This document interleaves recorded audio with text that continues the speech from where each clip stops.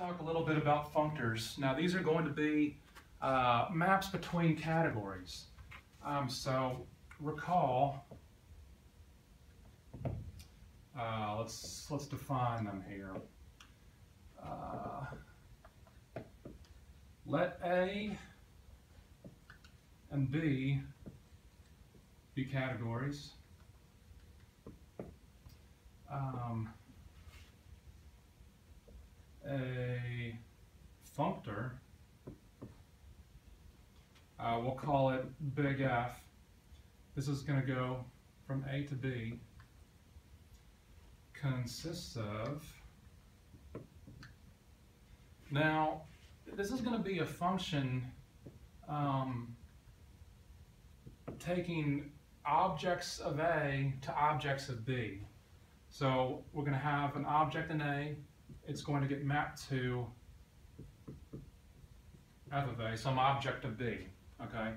This lives in here, this is going to live in here. Um, another thing we have, uh, so for all uh, objects,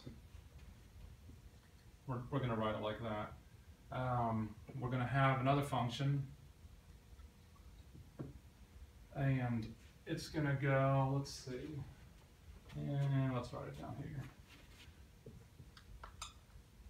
So from the set of A, A prime, it's going to go to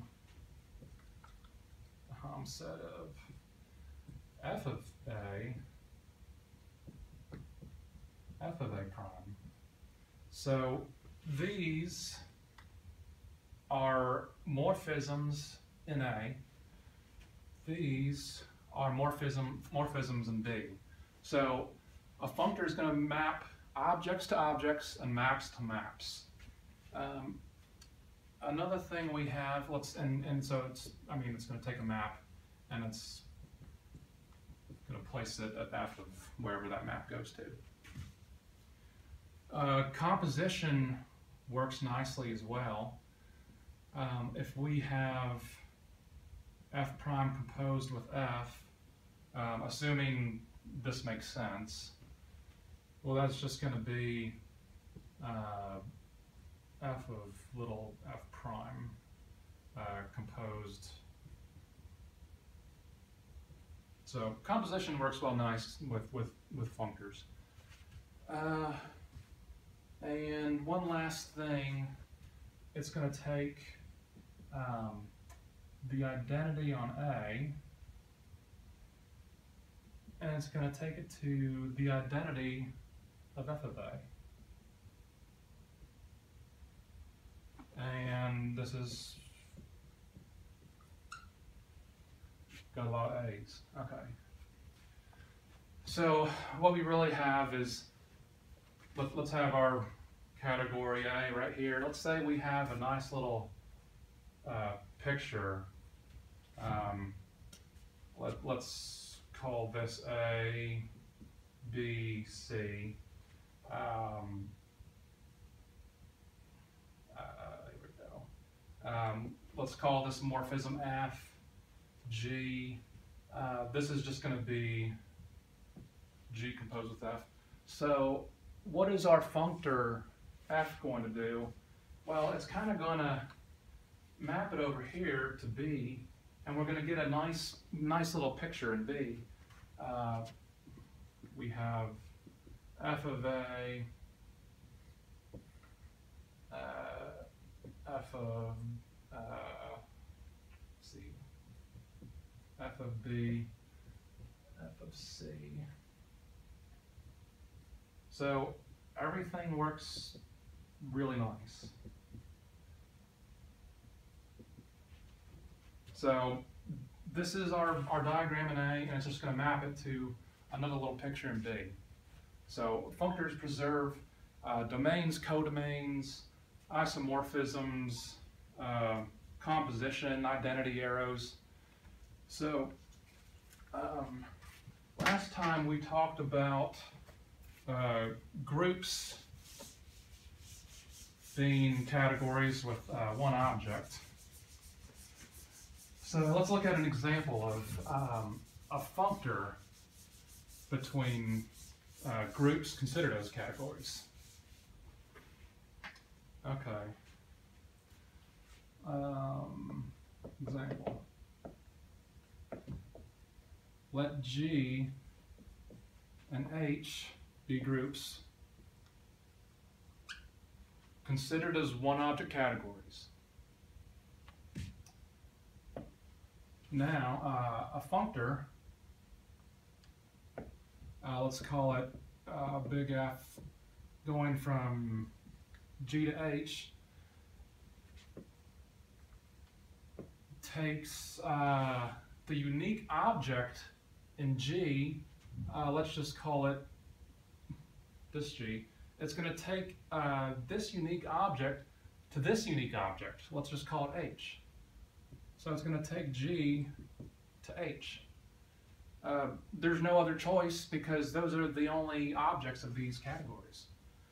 So for uh, morphisms, um, let's call them G1, G2.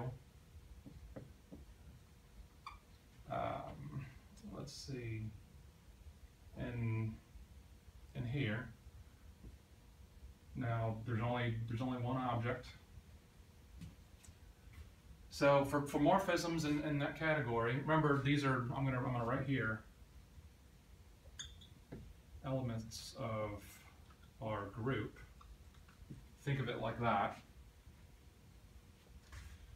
So we have, well, by definition, what is what is our functor going to do? Um, it's going to, it's going to, uh, let's see, g g1 composed of g2 um, is equal to um, also uh, it's going to take our uh, identity element, which we, we have to have, and um, this is the identity in, um, in G, and it's going to take it to the identity in H. What is this? Well, this is a group homomorphism, so what we have is that um, a functor is just a generalized group homomorphism in this scenario. That's all it is.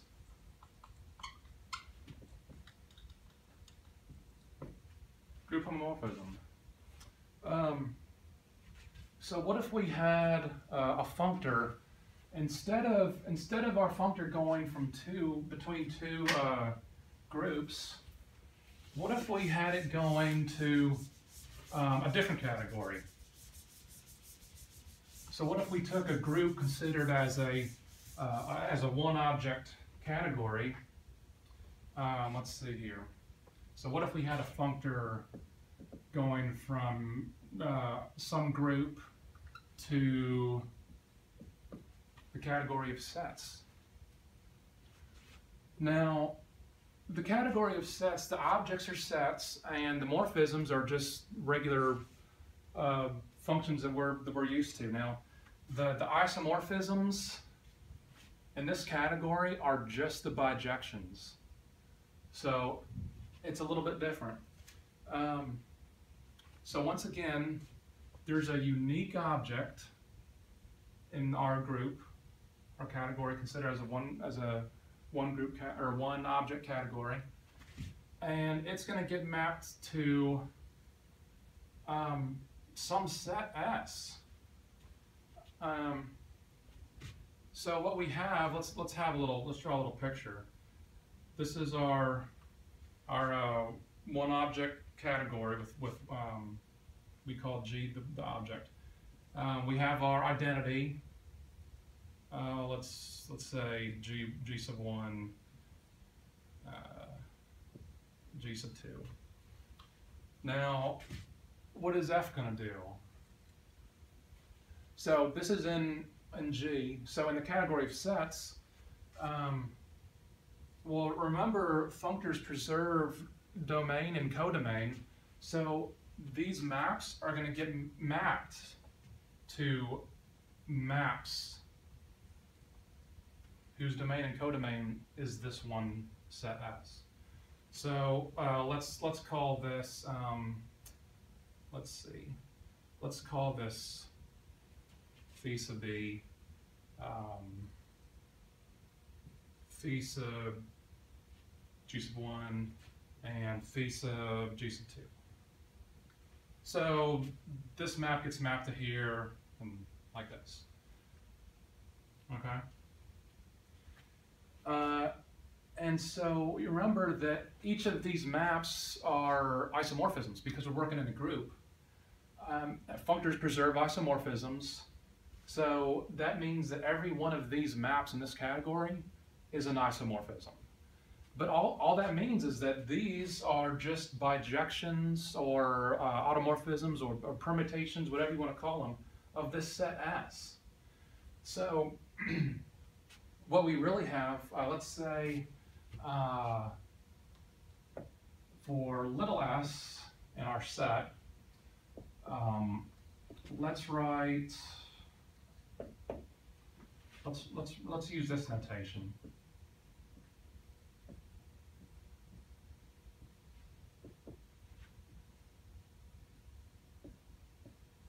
So what we have is we're going to take an element of S. So our functor is going to map one of these morphisms over here, and we're going to evaluate it at S. So we're just going to use this notation. We're going to write this as g dot s. It, it, it, doesn't really mean, this notation doesn't mean anything. We're just going to write it like that. Um, so f is a functor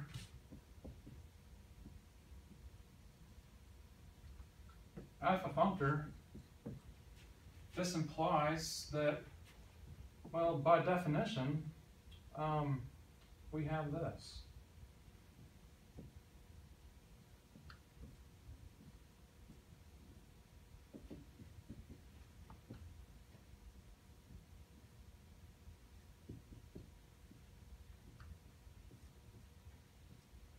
Um, so we're gonna we're gonna write it like this just so it's a little simpler. Uh, what does this say um, in that notation? G sub one, G sub two dot s equals G sub one, sub two. Uh, and also, don't forget the identity. Now, this is for, uh, for all G sub one, G sub two in our uh, category. Let's uh, or in our in our we'll, we'll just call it in our group. Okay. Now this should look really familiar to you. Um, what is this? This is something we all know and love. This is just a um, it's just a left action by G. What, this is just a left G set.